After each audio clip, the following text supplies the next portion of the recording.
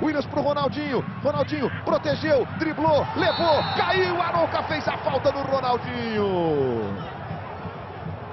É falta para o Flamengo cobrar quase na linha da grande área. Agora, o Luxemburgo daqui a pouco vai ser expulso, né? Mais uma vez aí o Marcelo de Souza tá dizendo para ele ficar calmo. Chegada, ele tirou o Edu Dracena, tirou o Aroca, o Aroca deixa o corpo, acaba atropelando o Ronaldinho, o Wright vai dizer disso.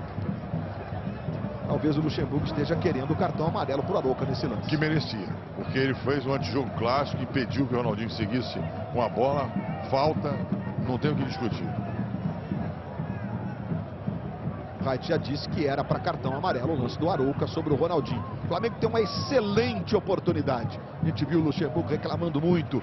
É um jogo que envolve os dois técnicos, dois dos grandes vencedores do futebol brasileiro. E tem o Ronaldinho Gaúcho. Talvez nos últimos 7, 8 anos, os dois maiores talentos que representam a essência do futebol brasileiro estejam em campo, né? Ronaldinho e o Neymar. E aí está o Murici Ramalho com o Tata, auxiliar dele ali do lado. Thiago Neves para bater de pé esquerdo a 19 metros e 90. O Ronaldinho para bater de pé direito. Jogadores do Flamengo fazem uma barreira à frente da barreira do Santos, que está protegendo o canto esquerdo do Rafael. 22 do segundo tempo. É jogo de tirar o fôlego. Atenção, Ronaldinho bateu. Gol!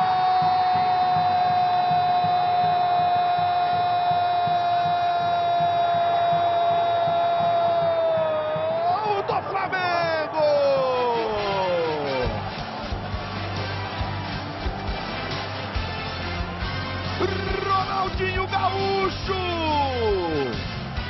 E esse gol leva a grife do Gaúchinho!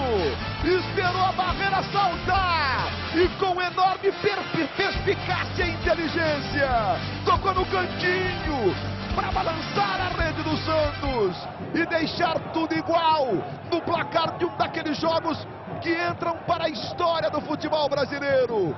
Quatro para o Santos, quatro para o Flamengo. Sétimo gol de Ronaldinho, que é artilheiro. Que jogo de tirar o fôlego, meus amigos do Brasil.